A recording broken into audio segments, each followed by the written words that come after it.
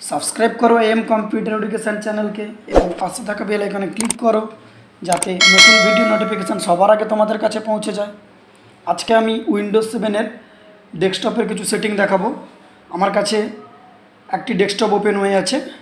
এই ডেস্কটপের যে কোনো জায়গায় রাইট ক্লিক করছি, সেখান থেকে আমি ভিউ এবার ভিউ থেকে আমরা প্রথম তিনটে অপশান দেখতে পাচ্ছি। লার্জ আইকনস মিডিয়ামস আইকনস এবং স্মল আইকনস লার্জ আইকনসে আমি ক্লিক করছি। এবার লার্জ আইকনসে যখন আমি ক্লিক করছি ডেস্কটপের মধ্যে থাকা সমস্ত আইকনস বড় হয়ে গেছে লার্জ হয়ে গেছে। রাইট ক্লিক করছি আবার ভিউতে যাচ্ছি, সেখান থেকে মিডিয়াম আইকনসে ক্লিক করছি। দেখতে পাচ্ছি ডেস্কটপের মধ্যে থাকা সমস্ত আইকনস মিডিয়াম হয়ে গেছে। আবার ভিউ থেকে আমি স্মল আইকনসে ক্লিক করছি। এবার দেখতে পাচ্ছি ডেস্কটপের মধ্যে থাকা সমস্ত আইকনস ছোট হয়ে গেছে স্মল হয়ে গেছে। এবার আমি ভিউ থেকে শো ডেস্কটপ আইকনসে ক্লিক করছি।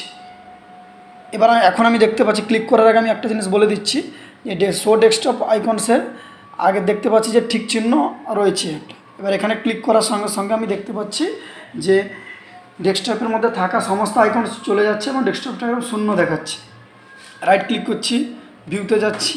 এবার আমি শো ডেস্কটপ আইকনসে আবার ক্লিক করছি। যখনই ক্লিক করছি ডেস্কটপের মধ্যে থাকা সমস্ত আইকনস আবার চলে এসছে। তাহলে শো ডেস্কটপ আইকনস কী কাজ করে না? শো ডেস্কটপ আইকনস যখন অন থাকবে, তখন ডেস্কটপের মধ্যে সমস্ত আইকন দেখাবে। আবার যখন ওটা অফ থাকবে ডেস্কটপের মধ্যে কোনো আইকনস দেখাবে না। এবার আমি রাইট ক্লিক করছি সেখান থেকে নিউ ডেস্কটপ ব্যাকগ্রাউন্ড অর্থাৎ এটাই যখন আমি ক্লিক করব ডেস্কটপের মধ্যে ব্যাকগ্রাউন্ড চেঞ্জ হয়ে যাবে। রাইট ক্লিক আবার নিউ ডেস্কটপ ব্যাকগ্রাউন্ডে ক্লিক করছি ব্যাকগ্রাউন্ড চেঞ্জ হয়ে যাচ্ছে। এবার আমি যদি এই ব্যাকগ্রাউন্ডে যে ওয়ালপেপার রয়েছে আচ্ছা সেইটা চেঞ্জ করতে চাই, তাহলে রাইট ক্লিক করব পার্সোনালাইজে ক্লিক করব, সেখান থেকে আমি যে কোনো একটি ওয়ালপেপার নেব। এবং এটাকে আমি আবার ক্লোজ করে দেবো, তাহলে আমাদের আমাদের ওয়ালপেপারটাই চেঞ্জ হয়ে যাবে। রাইট ক্লিক পার্সোনালাইজে পার্সোনালাইজে গিয়ে আমাদের চেঞ্জ করতে হবে। এবার আমি গ্যাজেটে চলে যাচ্ছি। গ্যাজেটে ক্লিক করছি। এবার গ্যাজেটে যখনই যাচ্ছি, দেখতে পাচ্ছি calendar clock CPU meter currency এইগুলো রয়েছে। এবার আমি এই গ্যাজেটকে আমি, গ্যাজেটের মধ্যে থাকা যে অপশানগুলো, এগুলোকে আমি যদি ডেস্কটপের মধ্যে নিয়ে আসতে চাই, তাহলে আমাকে যেই অপশানটাকে নিয়ে আসতে চাই, সেইটাকে আমার ক্লিক করে ডেস্কটপের মধ্যে নিয়ে এসে ছেড়ে দিতে হবে। আমি ক্যালেন্ডারকে নিয়ে এসে ছেড়ে দিয়েছি ডেস্কটপের মধ্যে, তাহলে ডেস্কটপের মধ্যে ক্যালেন্ডার চলে এসছে। এরকমভাবে ক্লককেও আমি নিয়ে আসতে পারি, ক্লকের উপর রাইট ক্লিক করব, তারপর চেপে আমি এটাকে ডেস্কটপের মধ্যে ছেড়ে দেবো। চলে এলো। এবার এবার এটাকে আমি ক্লোজ করে দিলাম।